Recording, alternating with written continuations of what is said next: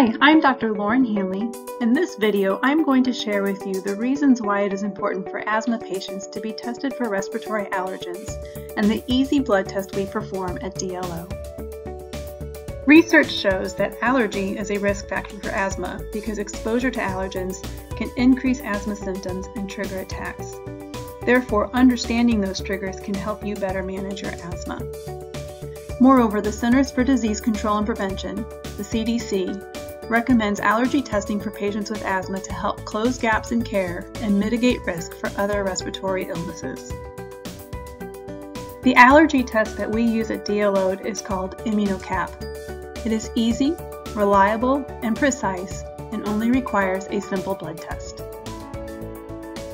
The ImmunoCAP respiratory allergy profile we offer for patients living in Oklahoma and Texas can be ordered by your doctor with the lab test code 10651. That one blood test will be able to determine if you have antibodies to any of the respiratory allergens listed here.